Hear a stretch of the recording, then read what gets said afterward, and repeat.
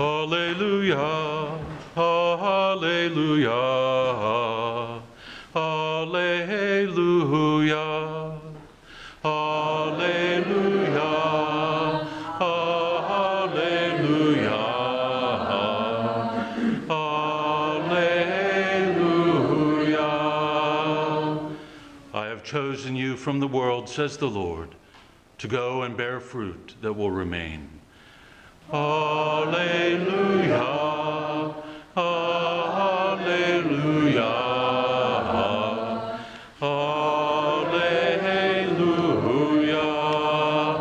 The Lord be with you. A reading from the Holy Gospel according to St. Matthew. Glory to you, Lord. And Jesus said to the chief priest and the elders of the people, Hear another parable. There was a landowner who planted a vineyard, put a hedge around it, dug a wine press in it, and built a tower. Then he leased it to tenants and went on a journey. When the vintage time drew near, he sent his servants to the tenants to obtain his produce. But the tenants seized the servants, and one they beat, another they killed, and a third they stoned. Again, he sent other servants, more numerous than the first ones, but they treated them in the same way. Finally, he sent his son to them, thinking, They will respect my son. But when the tenants saw the son, they said to one another, This is the heir. Come, let us kill him and acquire his inheritance. They seized him, threw him out of the vineyard, and killed him. What will the owner of the vineyard do to those tenants when he comes?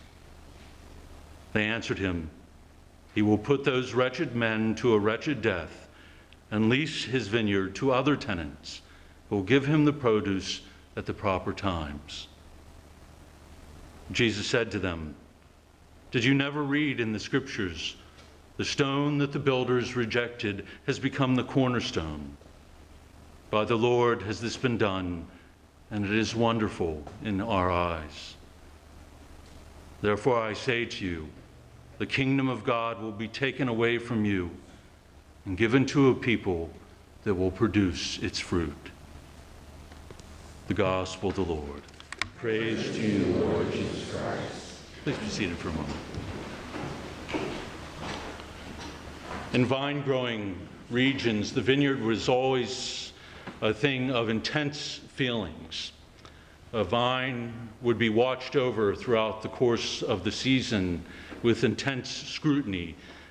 They would agonize over it and how it was growing, watching patiently day by day until they would see the quantity and the quality of the harvest. And so the harvest day was a great feast filled with joy if the vine produced great fruit.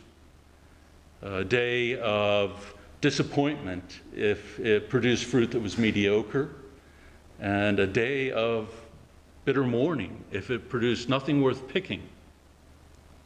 And so it's little wonder, I think, that the biblical authors choose the vine as the, the preferred image of the people of God, those whom God cultivates with his love and from whom God expects great fruit, expects beautiful fruit.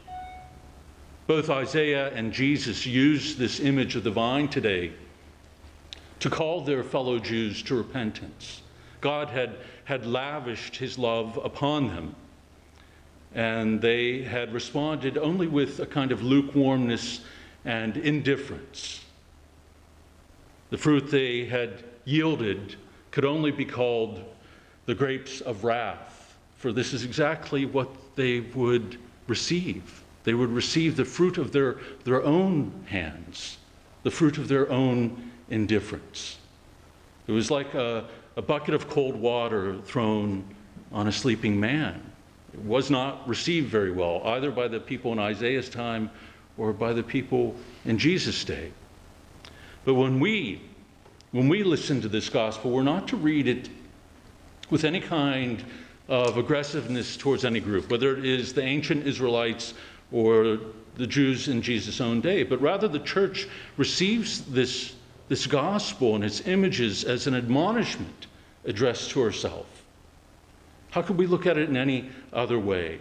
The blood that is shed in the new covenant, the blood that Jesus sheds on the cross for us, the blood that he gives to us as our very food and drink, is far more filled with, with privilege and promise than the old covenant.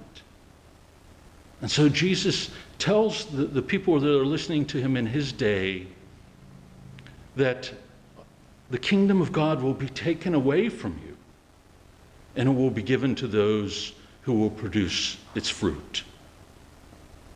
This is a solemn warning for all of us as Christian men and women. Our very election as Christians will witness against us unless we bear fruit that is acceptable to God and that is worthy of our great calling.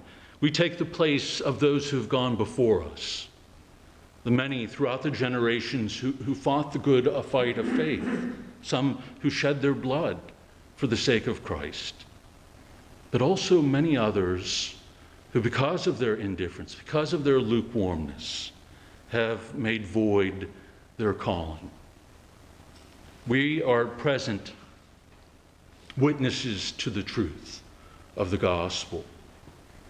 And yet, we are told, in light of today's readings, that we preach the gospel, but only with a humble mindedness. And that even though we rejoice at the great gift that has been given to us, we also carry that gift with a kind of trembling in our heart, knowing how precious it is to us. Let's pray today that our lives, our actions would bear fruit that is worthy of the kingdom, that we would produce the fruit that Christ produced for the Father, a fruit that is redemptive, filled with selfless love, and nourishing to everlasting life.